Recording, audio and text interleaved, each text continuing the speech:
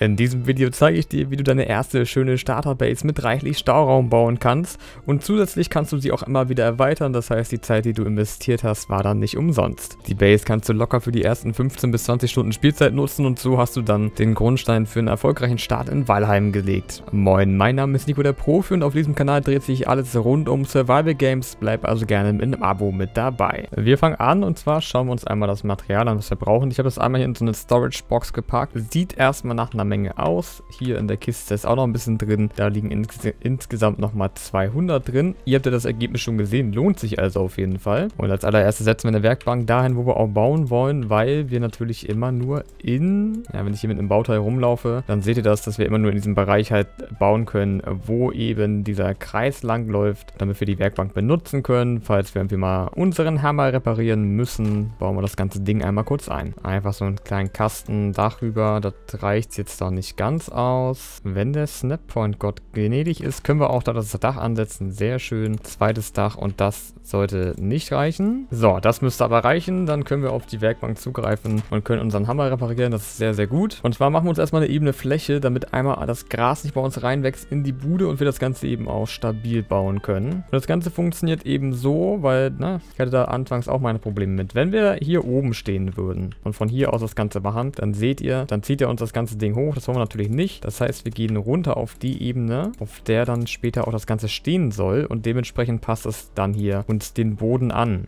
Ja, anderes Beispiel, ich stehe weiter unten, seht ihr, passt das eben dieser Ebene an, wo ich drauf stehe. Ganz, ganz wichtig. Das ist also das. Dann können wir auch anfangen und zwar fangen wir an, indem wir unser Fundament setzen und zwar benutzen wir dafür diese kleinen 1 Meter Poles und die 2 Meter Woodbeam. Und damit ziehen wir uns jetzt 5 in die Breite unser Fundament bzw. das Grundgerüst und setzen hier immer wieder einen kleinen Pol unter. Wichtig, wenn ihr hier connecten wollt, mit dem Cursor immer dahin, wo ihr auch ansetzen wollt tatsächlich, dann ist das Ganze kein Problem und ihr findet den Snappoint. Damit hatte ich zwar am Anfang meine Probleme, auch ganz wichtig, falls ihr euch mal verbaut, Einfach Mausrad reindrücken, dann bekommt ihr genau das Material wieder raus, was ihr auch eingesetzt habt. Das ist schon mal mega praktisch. So, sind wir 5 in die Breite gegangen und das Ganze machen wir jetzt nochmal in die Länge. Und zwar gehen wir da erstmal 7, beziehungsweise können wir da auch 8 gehen, wenn wir eine kleine Veranda vorne mit dran haben wollen. So sieht das Ganze dann also aus. Schön 7 einmal in die Länge. Und wichtig ist, dass jeder von diesen kleinen Pols blau ist. Ich habe hier auch nochmal die Erde angehoben quasi. Das könnt ihr machen, wenn ihr einfach Steine in der Tasche habt. Da braucht ihr immer vier Stück, wo einmal anheben. Denn wenn diese Dinger nicht blau sind, dann gibt das zu wenig Stabilität und dafür bauen wir das Fundament, damit es eben stabil ist. Natürlich müssen wir das Ganze jetzt einmal schließen und dementsprechend bauen wir das Ganze nochmal hier. 5 in diese Richtung und dann 7 zurück in die andere Richtung. Äh, so sieht das Ganze dann aus. Wir haben also schon mal so ein Grundgerüst. Und jetzt gehen wir einmal quasi in die Mitte. Das heißt einmal hier an den vierten Block von rechts und einmal hier an den vierten Block von links. Und ziehen jetzt mal hier so in die Mitte rein und stützen auch das Ganze wieder mit diesen kleinen Poles jetzt, wie gesagt, wenn das nicht connected zum Boden, einfach hochziehen. Und das Ganze bauen wir einmal komplett drüber bis auf die andere Seite. So sieht das Ganze dann aus. Also einmal komplett drüber gezogen. Und hiervon in der Mitte können wir auch nochmal so zwei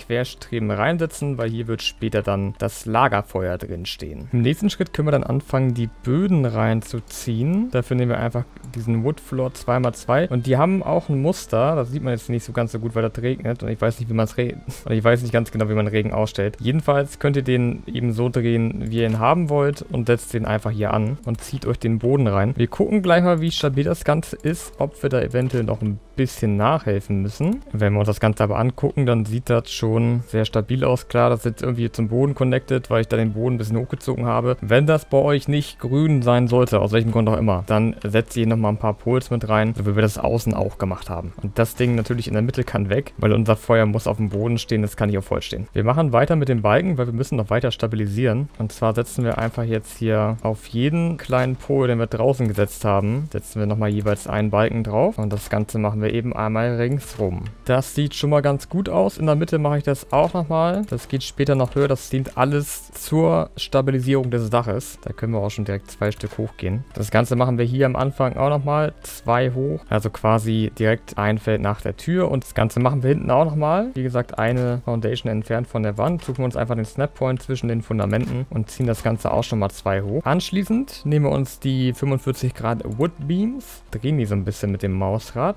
dass wir in Richtung unserer Balken kommen. Und anschließend anschließend können wir nochmal den dritten oben raufsetzen und wir sehen, dass das Ganze jetzt hier schon einigermaßen grün ist. Verlängern wir das Ganze nochmal nach außen, damit das dann hier auch am Boden fest ist und nochmal ein bisschen mehr Stabilität auch nach oben kriegt. Das wiederholen wir auf jeden Fall einmal für alle Seiten, wo wir dann einmal in der Mitte unsere Stützpfeiler haben. Das heißt, wir gehen hier wieder ran und ziehen das Ganze nochmal hoch und verbinden das auch immer wieder hier unten mit dem Boden, damit einfach mehr Stabilität reinkommt und ziehen das Ganze dann in der Mitte, wie gesagt, auf den dritten Pfeiler hoch. Da müsst ihr ein bisschen gucken mit dem Snappoint. Am besten oben ansetzen, dann funktioniert das Ganze auch. Vorne und hinten wird das gelb sein. Das Problem ist, dass das Ganze hier nicht connected ist, äh, connected ist zum Boden, damit das Ganze besser hält. Nehmen wir nochmal eben hier die Platten raus und setzen von unten auch nochmal Stützpfeiler gegen, die bitte mit dem Boden verbunden sind. Und dann ist das Ganze oben auch grün und ist somit stabiler für euch. Sorry dafür, aber ich freestyle die Videos auch manchmal ein bisschen, zumindest beim Bauen. Das Ganze hinten auch nochmal ist also gar kein Problem, weil wir die Materialien ja eh wieder bekommen, ne? So, einfach hier den Snappoint suchen und einmal prüfen, ob es blau oder grün ist. Wenn es grün ist, einfach nochmal den Boden anheben, Bodenplatten wieder rein und dann könnt ihr auch die Pfeiler wieder hochsetzen. Ist ja auch alles kein Problem, weil das Video erst seht und dann baut. Jedenfalls sieht das Ganze dann so aus. Wir haben also schon mal so ein Gerüst auch fürs Dach mitgenommen. Das baue ich gleich mit an, wenn wir die Workbench drin haben. Das heißt, wir können jetzt im nächsten Schritt zu den Wänden übergehen und ziehen jetzt hier mal ganz gediegen überall unsere Wände rein. Einmal ringsrum, wichtig ist halt, ne, hier irgendwie in der Mitte Platz für die Tür lassen, beziehungsweise auch direkt eine Tür einsetzen und dann eben einmal ringsrum die Wände bauen. Alles nur auf einer Höhe. So sieht das Ganze dann also aus. Also einmal ringsrum die Wände zugebaut und dann können wir uns direkt ans Dach machen. Dann nehmen wir natürlich die 45 Grad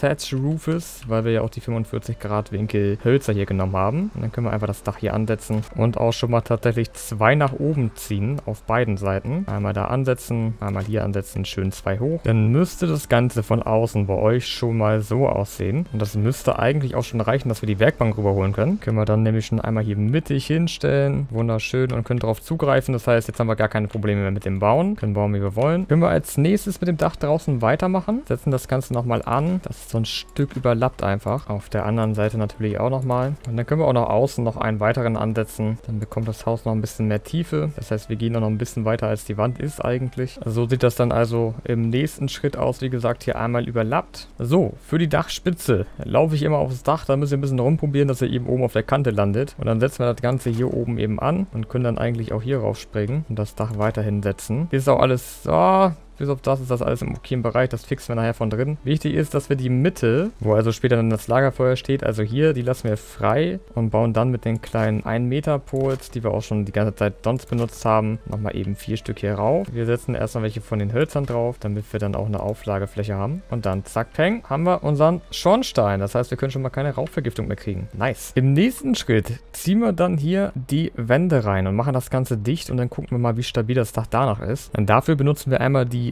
Woodwall 45 Grad und einmal die ganz normale Woodwall, um eben einfach die Sachen hier ja zu stopfen quasi, die Löcher, die wir noch haben. Setzen dann eben die 45 Grad Bauteile hier in die Ecken und führen dann den Rest mit den ganz normalen Holzwänden aus und ziehen das Ganze eben auch bis nach oben. Und auf der anderen Seite das gleiche Spiel also auch nochmal. So, wenn wir das gemacht haben, können wir uns nochmal das Dach angucken. Das ist dann hier gelb, das ist völlig okay. Ist also absolut im normalen Bereich, beziehungsweise das hält hier auf jeden Fall und wird uns nicht wegfliegen. Um das Ganze vorne noch ein bisschen abzurunden, können wir natürlich hier noch eine Veranda ransetzen. Das heißt, wir nutzen einfach die Snap Points, die wir ohnehin schon erstellt haben und hauen uns hier jeweils diese 2 Meter Loks hin und stützen das Ganze dann wieder mit Poles. Ich habe jetzt hier auch zum Teil die 2 Meter Poles genommen, weil sie einfach hingepasst haben. Und dann entsprechend hier wieder die Bodenplatten draufhauen und anschließend können wir mit halben Holzwänden quasi arbeiten, um das Ganze so ein bisschen abzuschließen und abzurunden und bauen uns eben so eine kleine Veranda und lassen natürlich die Mitte frei. Da wollen wir später hochgehen, da können wir einfach so eine Leiter hier benutzen, die wir hier ansetzen, zweimal. Und dann können wir hier über die Leiter oder Treppe, wie auch immer, unser Haus betreten. Und dann haben wir bisher nur eine Werkbank drin. Das heißt, wir können ein bisschen die Einrichtung machen. Wir können uns das Bett hier in die Ecke hauen, schlafen wir quasi neben der Tür und neben die Werkbank kommen natürlich noch unsere Verbesserungsgegenstände hin, damit wir die Werkbank auch upgraden können. Könnt ihr einfach daneben stellen. Die solltet ihr ja am Anfang schon freigeschaltet haben, beziehungsweise freischalten können. Das ist so das erstmal, was wir am Anfang haben. Aber Stauraum habe ich euch versprochen und Stauraum kommt. Und zwar benutzen wir hier halbe Wood Walls wieder, die wir einmal hier hinter platzieren können. Dann einmal mit dem Snap Point zwischen diese beiden Bodenplatten. Und darauf platzieren wir dann ganz einfach unsere Wood Floors und obendrauf wieder die halben Wände. Und auch darauf können wir dann wieder unsere Wood Floors setzen. Und so haben wir drei verschiedene Höhen, beziehungsweise drei Etagen, in die wir dann entsprechend unsere Kisten reinstellen können. Das heißt, hier unten passen immer zwei nebeneinander. Hier oben trennen wir das Ganze natürlich auch noch einmal ab, damit das alles seine Richtigkeit hat und wir auch gut wissen, wo wir die Kisten platzieren können, sollen, wie auch immer. Jedenfalls passen auch hier in die mittlere Etage immer zwei Kisten und eben hier in die Ecken jeweils nur eine, das ist ja klar. Haben wir das Dach. Aber so füllt ihr euch eben mit dem restlichen Holz das komplette Regal auf. So könnte das Ganze dann bei euch aussehen und ihr könntet natürlich jetzt hier oben noch wieder eine halbe Wand dran setzen und euch dann beispielsweise hier Schilder ranhängen und die dann eben auch entsprechend beschriften und draufschreiben, dass da Holz und Stein drin ist oder keine Ahnung was. Das steht auf jeden Fall dran. So könnt ihr das Ganze sortieren oder ihr haut euch eben die Schilder hier ran in die Mitte, dann könnt ihr immer das Ganze auch nochmal beschriften. Also gar kein Problem. Und natürlich, bevor ich das vergesse, wir können auch einmal aufs Dach gehen und dann bauen wir nochmal auf beiden Seiten jeweils ein so ein Kreuz Kreuz hier an für das Feeling. Dann haben wir es auch ein bisschen dekoriert von außen. Kleiner Nachtrag, weil mir das vorhin nicht aufgefallen ist beim Bauen. Die 45 Grad Winkel, die wir eingebaut haben, die enden bei euch einfach hier. Die können wir auch, noch mit, auch nochmal mit dem Boden verbinden. Das sieht, denke ich, besser aus. Und wenn man jetzt ganz viel Lust hat, könnten wir theoretisch hier oben auch eben Doppelkreuze setzen weil sonst bleibt das Ganze hier eben auch offen und läuft so ein bisschen ins Leere. Und natürlich auch das fast vergessen. Wir können natürlich über unser Lagerfeuer, was ich jetzt schon platziert habe, noch Cooking Stand zauen. Da könnt ihr drei Stück rüberhauen. Upsala.